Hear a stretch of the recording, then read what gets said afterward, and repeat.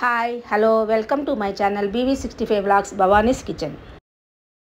ఈరోజు capsicum kurma preparation చూద్దాము. క్యాప్సికమ్ను శుభ్రంగా వాష్ చేసి పైన ఉన్న తొడిమలు తీసివేయాలి. ఈ విధంగా ముక్కలు కట్ చేసుకోవాలి. నిమ్మకాయ సైజ్ అంత చింతపండుని నానబెట్టి రసం తీసి ఉంచుకోవాలి.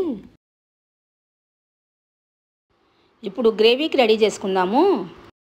పెద్ద మిక్సీ జార్ తీసుకొని హాఫ్ కప్పు పల్లీలు రెండు స్పూన్లు నువ్వులు హాఫ్ కప్పు పచ్చి కొబ్బరి ముక్కలు మిక్సీ పట్టుకోవాలి. ఈ విధంగా పౌడర్ చేసుకోవాలి. టూ కప్స్ వాటర్ యాడ్ చేసి మెత్తగా పేస్ట్ వెళ్ళే చేయాలి. ఘాటుగా కావాలనుకుంటే రెండు పచ్చిమిర్చి యాడ్ చేసుకోవచ్చండి. ఇప్పుడు కర్రీ ఎలా చేయాలో చూద్దాము. స్టవ్ మీద ప్యాన్ పెట్టి రెండు స్పూన్లు ఆయిల్ వేసుకోవాలి. ఆయిల్ వేడెక్కినాక మూడు లవంగాలు మూడు దాల్చిన చెక్క ముక్కలు మూడు యాలుక్కాయలు ఒక బిర్యానీ ఆకు వేసుకుని ఫ్రై చేసుకోవాలి. ఒక స్పూన్ జీలకర్ర వేసుకుందాము. హాఫ్ కప్పు ఆనియన్ ముక్కలు వేస్తున్నాను. ఒకసారి కలుపుకుందాము. ఆనియన్ ఈ విధంగా ఫ్రై అయితే చాలండి. మిక్సీ పట్టుకున్న గ్రేవీ వేసుకుందాము. మిక్సీ జార్లో కాసిన వాటర్ పోసుకొని ఆ వాటర్ కూడా గ్రేవీలో కలుపుకుందాము. అంతా ఒకసారి కలుపుకోవాలి. ఒక హాఫ్ స్పూన్ పసుపు రుచికి సరిపడా ఉప్పు కారం వేసుకుందాము. దీంట్లో మసాలాలు ఏమీ ఎక్కువ యాడ్ చేయలేదండి. చాలా టేస్టీగా ఉంటుంది కర్రీ.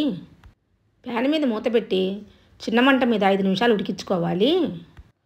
గ్రేవీ ఈ విధంగా ఉడుకుతున్నప్పుడు చింతపండు రసం పోసుకోవాలి.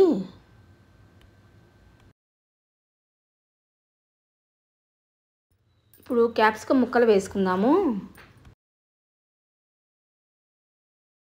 ఒక గ్లాసు వాటర్ పోసుకోవాలండి. మొత్తం ఒకసారి కలిపి మూత పెట్టుకుందాము.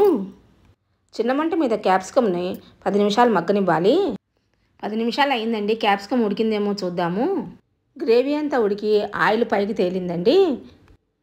క్యాప్సికమ్ ముక్కలు కూడా ఉడికాయి. క్యాప్సికమ్ కర్రీ రెడీ అయిందండి.